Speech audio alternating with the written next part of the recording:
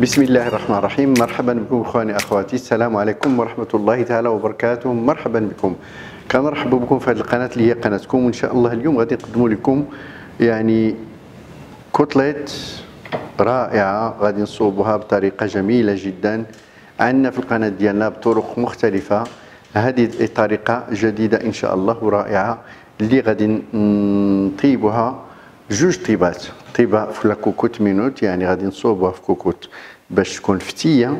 بعد ذلك غادي نشرمل غادي نرقدوها ونشرملوها مرة أخرى. غادي ترقد وتشرمل جوج المرات المرة الأولى والمرة الثانية غادي نشرملوها وندخلوها للفران باش طيب يعني والفران ما غاديش تاخذ فيه وقت كثير إن شاء الله الرحمن الرحيم.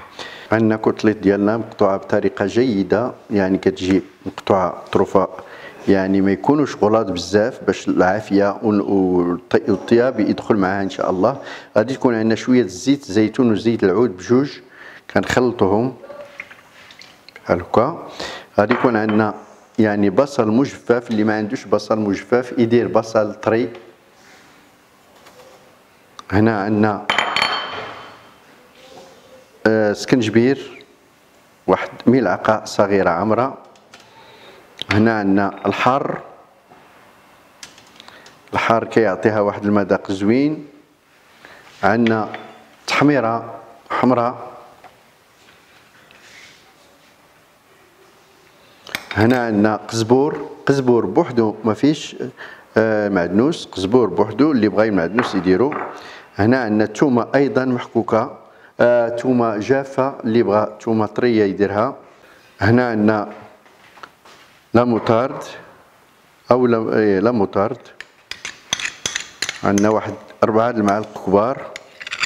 هذه كتعطينا واحد المذاق رائع لهاد الكوتليت ديالنا. عندنا شوية البزار. وعندنا إن شاء الله الملحة. وعندنا عصير ديال الحامض. أو إلا عندكم خل ديال الحامض ديروا شوية الخل الحامض. هنا غادي نضيف واحد جوج كيسان ديال الماء واحد جوج كيسان لهاد الشرموله ديالنا أنا درت شوية زايده كثيره لأن بغينا هاد اللحم ديالنا يتشبع من هاد الشرموله ومن الاحسن الا بغيتو هاد الشيء كاع يكون الا بزاف يعني تقدروا تصوبوها دافونس حنا غادي نديرو الكتليت ديالنا كلها ونرقدوها الا رقدناها 24 ساعه يعني البارح في المثال غادي تكون احسن مي بحال هكا نيت راه غادي تجي زوينه ان شاء الله غادي تشوفوا جربوها بكلتا الطريقتين اللي كان زربان وبغى يتغدى بها في المثال ما ما رقدهاش نسى ما رقدهاش ولا شي حاجة يرقدها يخدم بها مباشرة بحال هكا. والنتائج راه غادي يكونوا إن شاء الله مرضيين. هنا عندنا كمية ديال عائلة كبيرة شوية ماشي عائلة صغيرة. نتمنى إن شاء الله كل واحد يدير على قد العائلة ديالو. ها أنتم كتشوفوا نرقدوها مزيان بحال هكا. غادي يكون مرافق لهذا القطبان ديالنا واحد النوع ديال لي بات بالبيشاميل كيجي زوين إن شاء الله. اللي بغى يرافقها بلي صالاد يرافقها بلي صالاد غادي ناخذوا اللحم ديالنا نديروها في كوكوت النيشان مباشرة.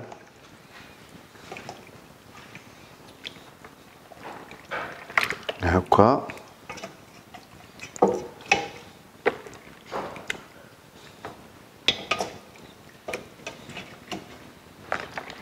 كتجي بنينه بنينه بنينه مع هاد العطريه مكونسونطرين مزيان. وهنا غادي نديرو شوية ديال هاد ونخليو شوية. وغادي نحتاجوه إن شاء الله. اللحم ديالنا ملي طيب. نزيدو شوية د الماء شوية. غير شوية د الماء عادي. هانتوما هكا خصها تكون في الكاميله وغادي نمشيو نطيبوها إن شاء الله. وخلينا لينا هاد الكمية أخرى باش ندوزو فيها إن شاء الله ملي طيب واحد نصف ساعة إن شاء الله فوق العافية فوق البوطة. ونسدو الكوكوت ديالنا طنجرة الضغط باش طيب مزيان. عاد يمكن لينا ندوزوها في لاصوص عاد ندوزوها نطيبوها في الفران. وكتجي هائلة ورائعة إن شاء الله.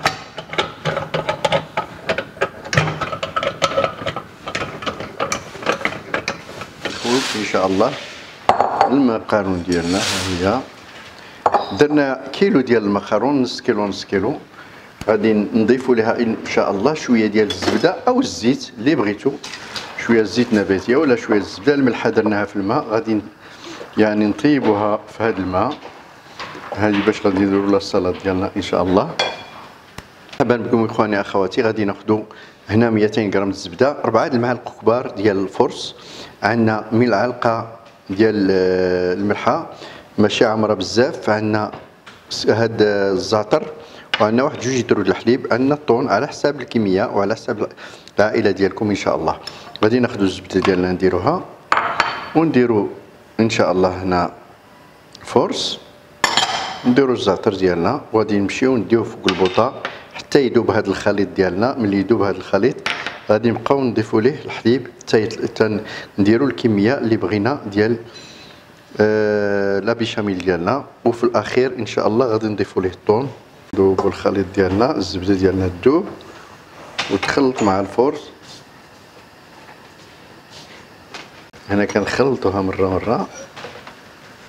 كنديروا لها الزبدة ولا الزيت باش المقارون ديالنا ما تلصقش مع بعضياتها. كتشوفوا دابا ديالنا غادي تخلط كلشي داكشي مزيان. ونخليوه حتى تكون فيه واحد واحد الرائحة بحال شي حاجة ديال داك الزعتر وديك الزبدة ملي كطيب مزيان كتعطي واحد الرائحة زكيه زوينة. ديالنا غنبدأو نصوبوها. نخوي الحليب كل مرة شوية. ونخلطو هكا. هانتوما شفتوا باش ما كان كيتدار كنضيفوا ليه الحليب. نقسموا الحليب ديالنا على ثلاثة المرات.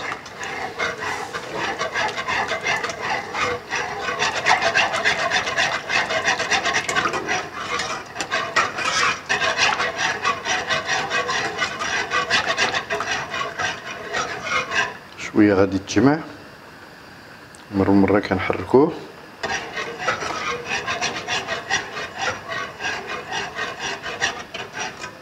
غادي تقال.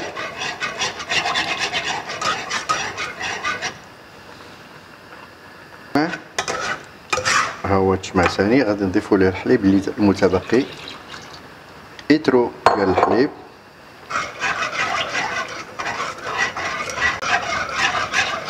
مرة مرة. دائما نحركو. حتى تجمع لينا إن شاء الله.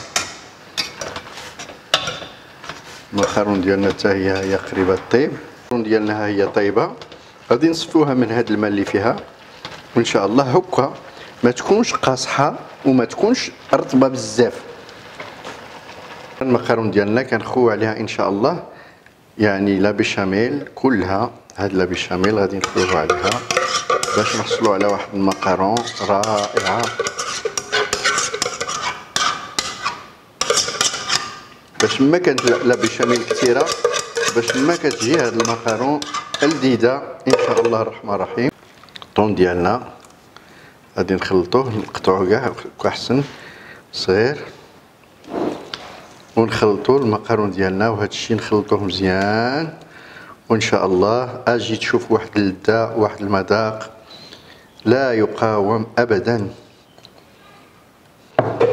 هاد الخليط ديالنا بحال هكا. حتى كنحصلوا على خليط متجانس إن شاء الله. واجي تشوف لك واحد المذاق واحد الروعة. اللي كالو ما عمرو ينسى اللي كان عندك المقارون. ملي ديرو في دارك ولا ديرو الضياف ديالك كون على يقين أنك غادي تكون نجم. ديك الليلة إن شاء الله ديك الحفلة وديك الليلة وداك العشاء بإذن الله.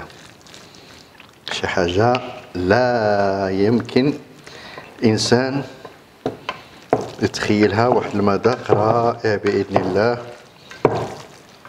الشرط اللي كنشرط عليكم أنكم ديروا كمية ديال هذا هاد يعني لا بيشاميل تكون كثيرة ويكون الطون حتى هو واضح في المقارون ديالنا.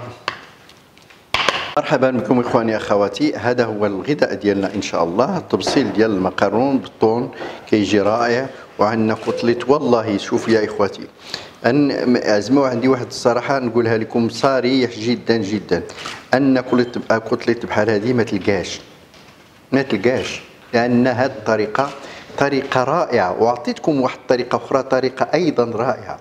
كتجي كي كلمسكة يعني كتذوب في الفم كتذوب الناس اللي ما عندهم السنان ياكلوها يعني بواحد السرعة ما تصورش. راجل كبير يبرك على هذا التفصيل ياكلوا بخمسة دقائق ما يفوتهاش فيه.